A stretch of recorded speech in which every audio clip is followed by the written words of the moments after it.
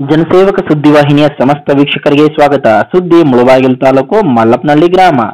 ತಾಲೂಕಿನ ದೇವರಾಯ ಸಮುದ್ರ ಗ್ರಾಮ ಪಂಚಾಯಿತಿ ವ್ಯಾಪ್ತಿಯ ಮಲ್ಲಪ್ನಹಳ್ಳಿ ಗ್ರಾಮದ ಬಳಿ ನಿರ್ಮಿಸಿರುವ ಬೃಹತ್ ಪದವಿ ವಿದ್ಯಾರ್ಥಿಗಳ ಕಾಲೇಜು ಪ್ರಾರಂಭವಾಗಿದ್ದು, ಕಾಲೇಜಿನಲ್ಲಿ ಎರಡ್ ಸಾವಿರದ ಇಪ್ಪತ್ಮೂರು ಇಪ್ಪತ್ನಾಲ್ಕನೇ ಸಾಲಿನಲ್ಲಿ ನೂರಾರು ವಿದ್ಯಾರ್ಥಿಗಳು ವ್ಯಾಸಂಗ ಮಾಡುತ್ತಿದ್ದು, ಕಾಲೇಜಿನಲ್ಲಿ ವಿದ್ಯಾರ್ಥಿಗಳಿಗೆ ಕುಡಿಯುವ ನೀರಿನ ಸಮಸ್ಯೆಯನ್ನು ಮನಗೊಂಡ ಧ್ರುವ ಚಾರಿಟಬಲ್ ಟ್ರಸ್ಟ್ ಕಾಲೇಜಿನ ವಿದ್ಯಾರ್ಥಿಗಳ ಸಹಾಯಾರ್ಥಕವಾಗಿ ಶುದ್ಧ ಕುಡಿಯುವ ನೀರಿನ ಯಂತ್ರವನ್ನು ವಿತರಿಸಲಾಯಿತು.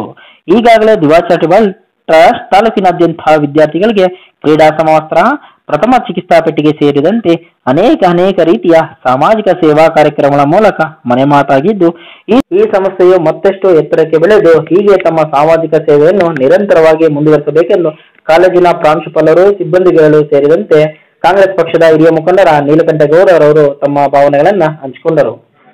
ಇಲ್ಲಿ ಕಾಲೇಜು ನನಗೆ ಗೊತ್ತಿದ್ದಿದ್ದು ಗೌರ್ಮೆಂಟ್ ಕಾಲೇಜ್ ಒಂದೇ.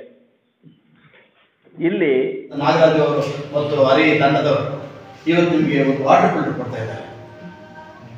ನೀರು ಕುಡಿಯೋ ನೀರು.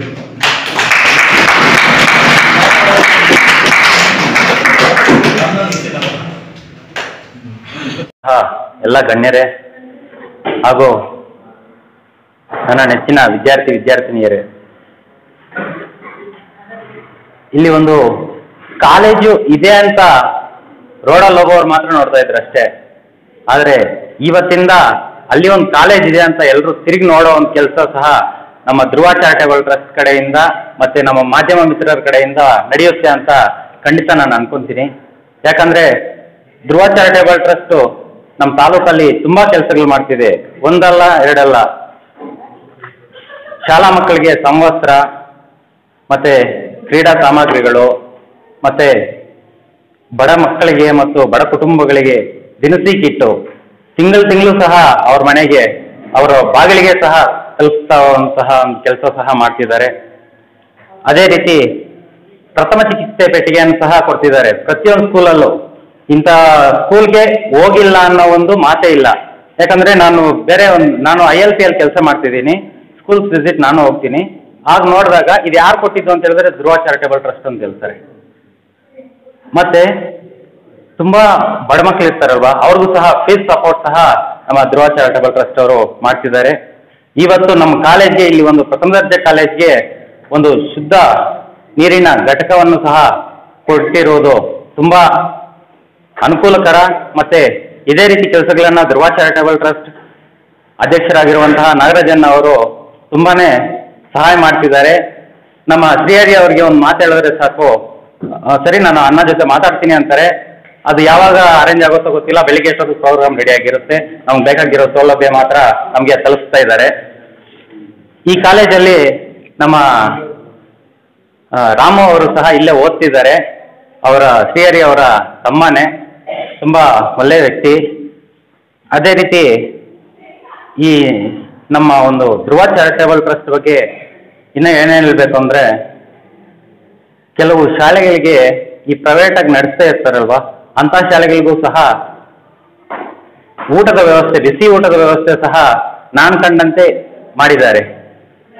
ಯಾಕಂದ್ರೆ ಇದು ಎಲ್ಲರಿಗೂ ಗೊತ್ತಾಗಲ್ಲ. ಸರಿ, ಆಯ್ತು, ಸಮಾಜ ಸೇವೆನಾ? ಸಮಾಜ ಸೇವೆ. ಒಂದು ಮೀಡಿಯಾಗೆ ನಾವು ಹೇಳ್ಬೇಕಾ ಇಲ್ಲ ಅದಕ್ಕಿದಕ್ಕೆ ಹೇಳೋ ಏನೂ ಇಲ್ಲ. ಅವರು ಎಲ್ಲಿ ಮಾಡ್ತಿದ್ದಾರೋ, ಏನು ಮಾಡ್ತಿದ್ದಾರೋ ಗೊತ್ತಿಲ್ಲ. ಆದರೆ ಒಂದು ಸಮಾಜ ಸೇವೆಯನ್ನು ತುಂಬಾ ಚೆನ್ನಾಗಿ ಮಾಡ್ತಿದ್ದಾರೆ.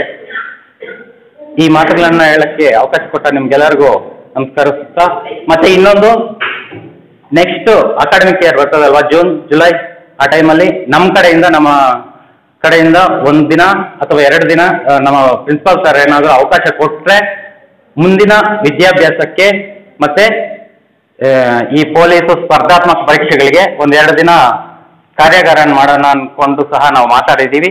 ಆದರೆ ಖಂಡಿತ ಈ ಒಂದು ಶಾಲಾ, ಶಾಲೆಯಲ್ಲೆಲ್ಲ ಕಾಲೇಜಿನಲ್ಲಿ ಮಾಡೋಣ ಅಂತ ನಿರ್ಧಾರ ತಗೊಂಡಿದ್ದೀವಿ. ಥ್ಯಾಂಕ್ ಯು ನಮಸ್ಕಾರ.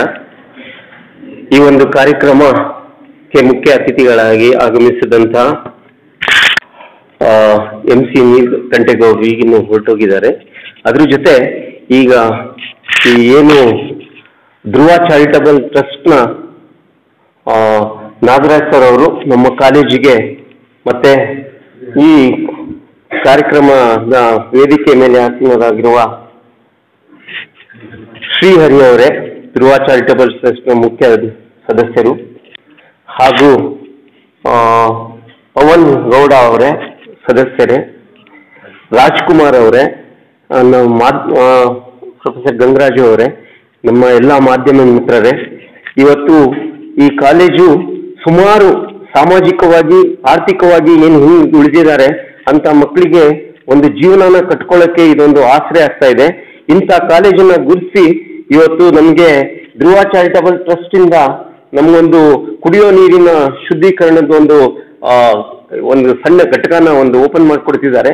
ಈ ಅದಕ್ಕಾಗಿ ಎಲ್ಲ ನಮ್ಮ ಅಧ್ಯಾಪಕರ ಪರವಾಗಿ ಮತ್ತು ಅಧ್ಯಾಪಕೇತರ ಪರವಾಗಿ, ವಿದ್ಯಾರ್ಥಿಗಳ ಪರವಾಗಿ, ಕಾಲೇಜಿನ ಪರವಾಗಿ, ನನ್ನ ವೈಯಕ್ತಿಕವಾಗಿ ಧ್ರುವ ಚಾರಿಟಬಲ್ ಟ್ರಸ್ಟ್ ಅವರಿಗೆ ನಾನು ಧನ್ಯವಾದನ ಅರ್ಪಿಸಿ, ಇದೇ ತರ ಇನ್ನೂ ನಮ್ಮ ಕಾಲೇಜಿಗೆ ಸಹಾಯನ ಮಾಡ್ತಾ ಇರಿ ಅಂತ ಕೇಳ್ಕೊಂತ ನಾನು ಅವ್ರಿಗೆ, ಅವರ ಸಹಾಯಕ್ಕೆ ಧನ್ಯವಾದನ ಅರ್ಪಿಸಿ, ನನ್ನ ಎರಡು ಮಾತನ್ನ ಮುಗಿಸ್ತೀನಿ. ಧನ್ಯವಾದ.